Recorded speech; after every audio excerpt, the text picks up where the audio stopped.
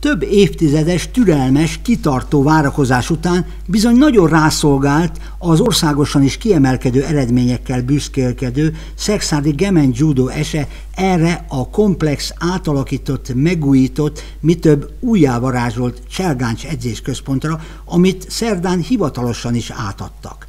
Három év alatt több történt, mint az elmúlt húsz évben. Az ingatlan tulajdonos megyei rendőrfőkapitányság, annak új vezetője bizony beváltotta ígéretét. Azért támogattam a Judo Egyesületet, mert hogy ők már itt letették az alapokat, voltak eredmények, és én azt gondoltam, hogy ezek az eredmények megérdemlik a támogatást. A megyei rendőrfőkapitányság mellé állt támogatóként Szexárd városa, és az itteni műhelyi munkát eredményeket elismerve a Magyar Cselgány Szövetség is lehetőségei közepette maximális támogatást nyújtott. Válvetve küzdöttünk, nagyon sok szülői segítséget, nagyon sok rendőrségi segítséget kaptunk, és most itt van ez a, ez a kis objektum, amit most már csak eredményesen kell, hogy használjunk.